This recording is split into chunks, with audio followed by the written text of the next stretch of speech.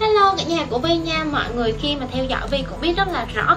Thì vài năm trước đây Vi rất là ốm luôn, Người của Vi nó không có được đầy đặn Và nhìn nó rất là thiếu sức sống luôn nha và đối với những bạn nào mà bị ốm như vậy thì nó sẽ rất là khó trong việc mà mặc đồ nè chọn đồ. Mặc cái gì nó cũng sẽ thiếu tự tin hết. Vì nhìn cơ thể mình nó không đầy đặn và nhìn nó rất là gầy gò luôn. Mang đồ thì rộng và nó không có vòng nào ra vòng đó nó rất là xấu. Vì vậy mà Vi đã phải dùng tới viên uống tăng cân nhà Tamino.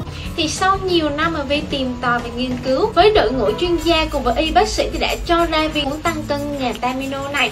Thì bạn nào mà bị ốm như vậy thì nên sử dụng qua nha. Bởi vì Vi là một người rất là ốm và cơ địa rất là khó tăng cân luôn. Nhưng từ khi sử dụng Tamino thì mọi người thấy đó, hiện tại bây giờ Vi đang nói chuyện với mọi người, đang giao lưu với mọi người đã có một tình hình đầy đặn hơn và mặt của Vi nó cũng đã có thịt thà hơn chứ hồi trước là nó bị hóp lại như thế này.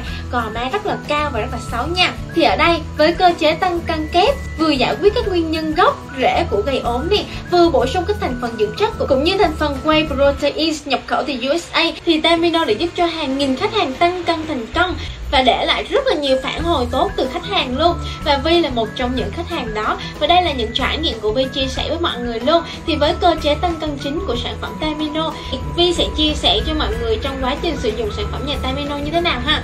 Thì khi mà Vi dùng thì nó sẽ giúp cho mọi người là thanh lọc cơ thể, đài thải độc tố bên trong cơ thể ra ngoài, giúp giảm tình trạng nóng trong người nữa ha. Cải thiện các vấn đề về hệ tiêu hóa của chúng ta.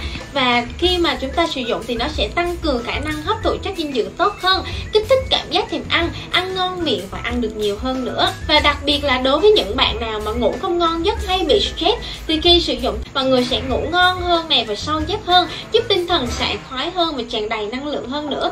Và ở đây á, thì còn giúp cho mọi người là tăng cường thể trạng này bồi bổ khí huyết giúp cho chúng ta giảm tình trạng ốm vặt nữa nha mọi người ha. Tăng đề kháng cho chúng ta tổng hợp protein nuôi dưỡng cơ thể của chúng ta giúp tăng cân nè và tăng cơ này sức khỏe của chúng ta được tốt hơn nữa và một hộp như thế này thì sẽ có những cái viên nén ở bên trong đây nè.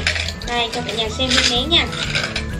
Đây đó viên nén bên trong của em hộp tamino như thế này nhé thì đối với một viên tamino như thế này thì mọi người sẽ uống trước khi ăn tầm phút đến 1 giờ. Và uống liều lượng thì tùy khác nhau nha mọi người. Có nghĩa là tùy vào độ tuổi.